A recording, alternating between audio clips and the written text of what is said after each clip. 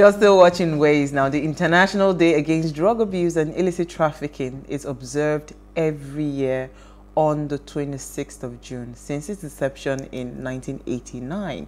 The idea is to strengthen action and cooperation to achieve the goal of an international society free of drug abuse. Now, during the International Conference on Drug Abuse and Illicit Trafficking, which was held in Vienna during the um, the 17th to 26th of June in 1987, two important texts, that is the comprehensive multidisciplinary outline of future activities in drug abuse control and declaration of the International Conference on Drug Abuse and Illicit Trafficking was observed.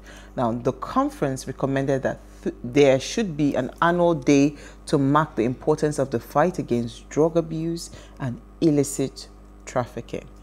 So, this is a very, very important day. They should also add that we are not supposed to use other drugs from the hospital, uh, from the chemist without, yeah, prescription you know, so drugs. It is not only about um, You know, when cannabis. they hear- yeah, when they hear yes, drug when they abuse- hear drug abuse, all they can think about cocaine, all We other hard drugs drugs. So it, it's know? not only about that. Yeah. Drug abuse It's stems holistic. from everything from uh, what's it called um, yes holistic Mm. from you going to the chemist to get drugs that wasn't on prescription and at the same time going to take. All the agbos and all of that, they are all drugs. but the agbos from what i even heard Well, I've been making my agbo from home, Sha. is helping some people cure covid Ha. so i heard You see, I don't even want to take chances. so what we've been doing, we've been burning a lot of Mm-hmm. water, uh, what's, what's it called? No, uh, pawpaw leaf. Mm-hmm. Um, what's it called? Dogoyaro, that's the neem leaf. and i had lemongrass lemongrass, lemon, lime, Wow. ginger. Wow. We blend it. Very bitter, but it will wake you up. please i need to get that concoction but, you know, you just at least you take it once in the morning, one at night, and all of that. But it's actually very good. So, but I, I, think this is very important because Mm-hmm. honestly speaking, a lot of people.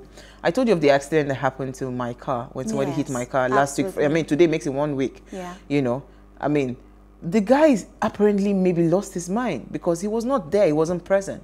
Hmm. You know, I, I think there should be something, you know, in the air. But a lot of people Mm-hmm. are actually taking drugs. A lot of people. A, a friend of mine actually said it's not all drivers that are normal these No- days no. because a lot of them are on some sort of drugs yes. or the other. You have to give them the energy to carry on. And so there's a lot you of know, drug especially abuse due to the on. fact that everybody has some sort of stress they're going through right now. So they're all looking for one outlet or the others, and the only thing they can think about is Yeah, drugs. It's drugs. Yeah. All right, so darling, what did you find for us in the news? In the news today, we discovered that 72 health workers in um, Enugu tested positive to Wow. COVID 19. Wow. Now, the, um, we can't overemphasize the, the need for us to, PPE. to wear the PPE as Mm-hmm. health workers. And the earlier the government understands this, the better But for was the health was workers. that was the PPE the the the cause that was stated why 72 health workers tested tested What- positive? they just stated that they were tested positive. They tested positive. So they didn't it. say They didn't state this is how the they reason were- how they contracted Yes, and you know in Nigeria we have this muchi muchi way we do things. Mm. We will not go straight to the point. We won't say this is the reason why. So that the healthcare workers will not come back At and least bounce. pay attention. Exactly. So. We need to understand that PPE is essential for every healthcare Frontline worker. workers. Even Yes. us, we need PPE right now. I have one here and my nose mask. And for those my Eastern brothers that feel that, oh, COVID 19 is not real, now it is in Enugu. They should Yeah. be very mindful because everybody has one family or the other. In one way or the other, we are all connected at the end of the day. I think it's also important that because I'm also taking a health story because today we're talking healthcare. Yes. Um, Lagos State has approved um, seven private labs for COVID-19 testing. That's according to Professor Akin Abayomi. That's the Commissioner for for Health. And hmm. this approval was meant, I mean, was a, was done to to ramp up COVID-19 testing in the state. Now, this was really shocking for me. Seven local government areas that's Etiosa, Alimosho, Koshofe, Ikeja, Oshodi, Surulere, Lagos mainland have the highest number Wow. of infection in the Wow. state. Koshofe local government is where what's his name passed.